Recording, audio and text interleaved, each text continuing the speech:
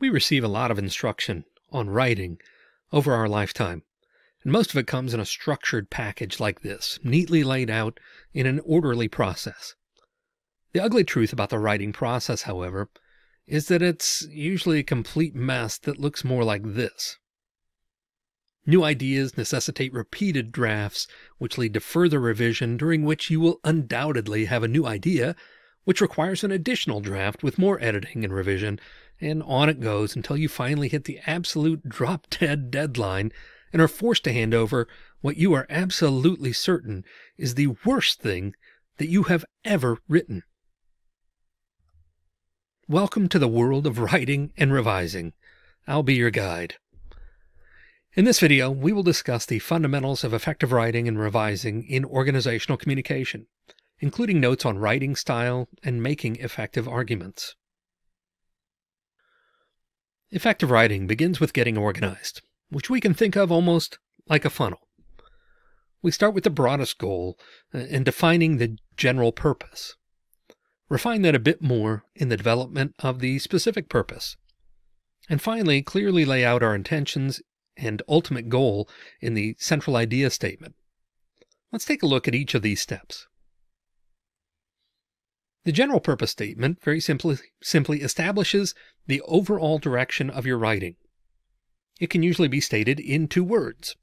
The first word is always to. The second word will depend on the goal of your writing. Some common general purpose statements include to inform, to persuade, and to entertain. The general purpose statement should align with the intended outcome of your communication. Once you've established your general purpose statement, you can continue to narrow the focus of your writing with the specific purpose statement.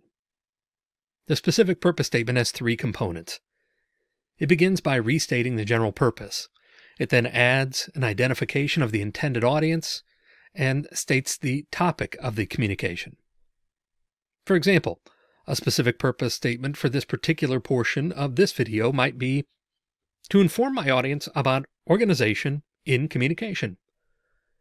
Again, the goal here is to narrow the focus of our writing by identifying our target audience and then clarifying the topic for discussion. The central idea statement will continue this focusing process by stating not only the topic of communication, but the main ideas as well.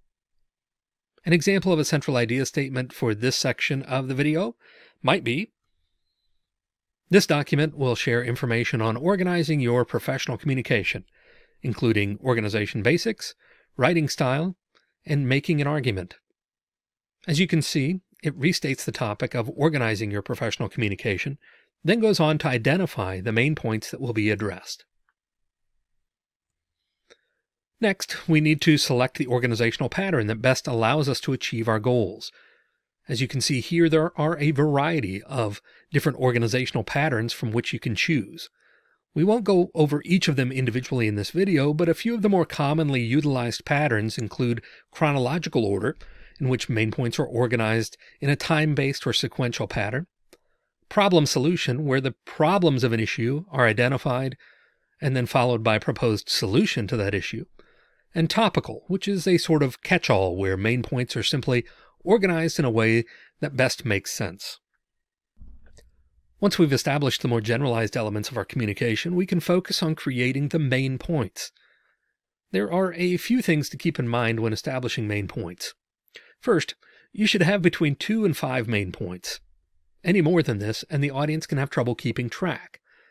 You should also be careful about using the word and in any main point. This is typically a trick for trying to fit two different and distinct main points under the umbrella of one and can be confusing for the audience. Finally, keep the principles of primacy and recency in mind when organizing your main points.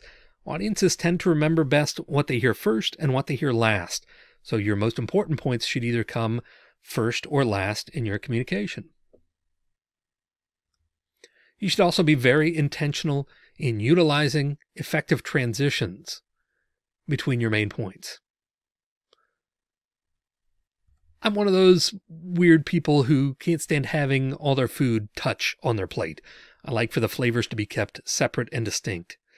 If it were up to me, everyone would use one of these nifty plate dividers for every meal to ensure proper separation and preservation of each food's unique qualities.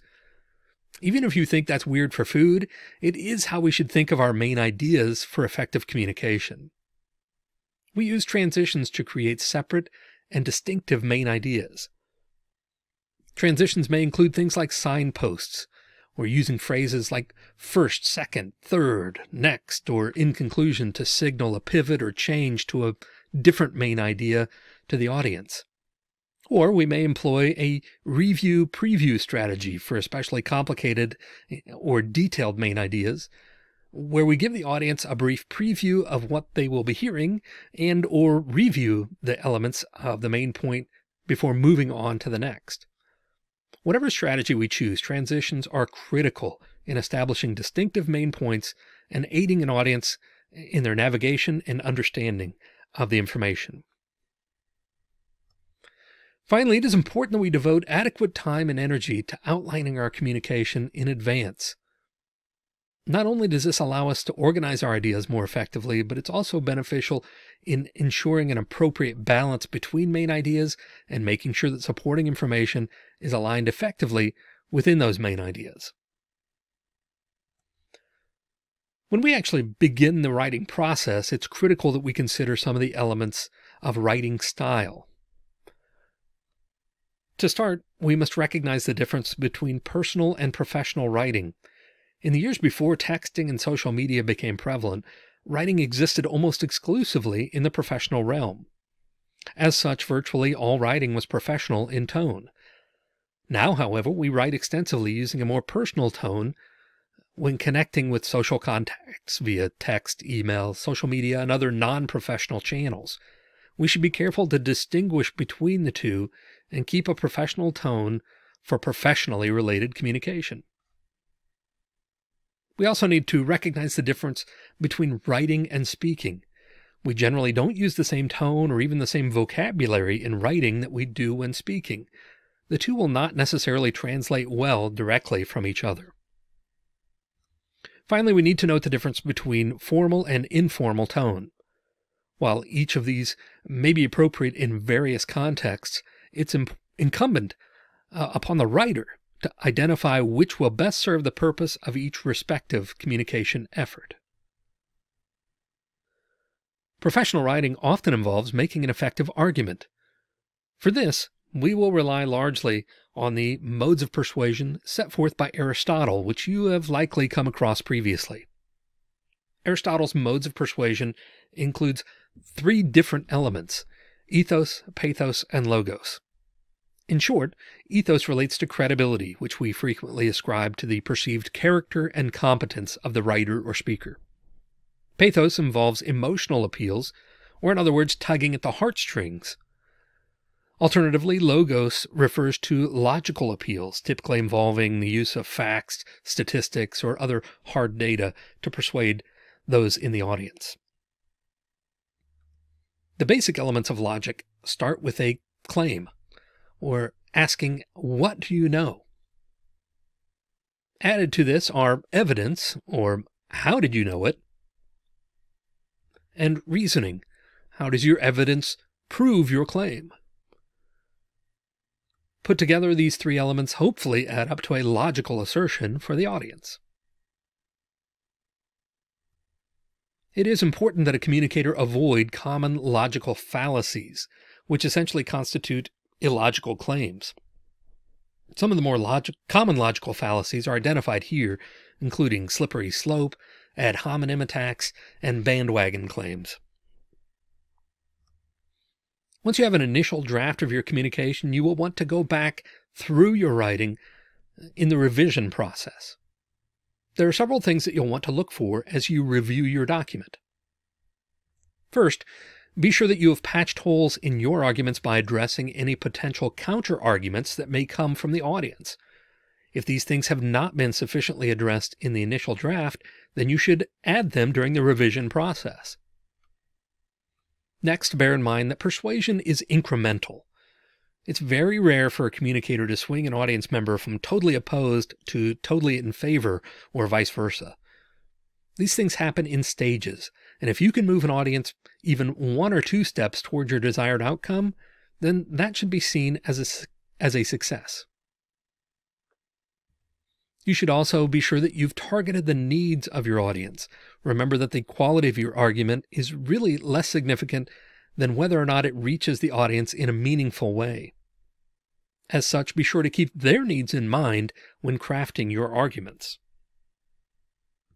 Also, be sure that you are appealing to shared values with your audience members. People tend to be persuaded more by those that they believe share their values and are speaking to them from a perspective of empathy. Overall, the revising process should include efforts to evaluate the content of your communication, the effective organization of the main points and ideas, the style and tone of the writing, and the readability of the document from the perspective of the audience. Effective writing and revising takes time and can be an incredibly tedious process. In the end, though, whether or not your writing leads to the desired result may very well depend on these exact things. And I would suggest that this is time and energy well spent.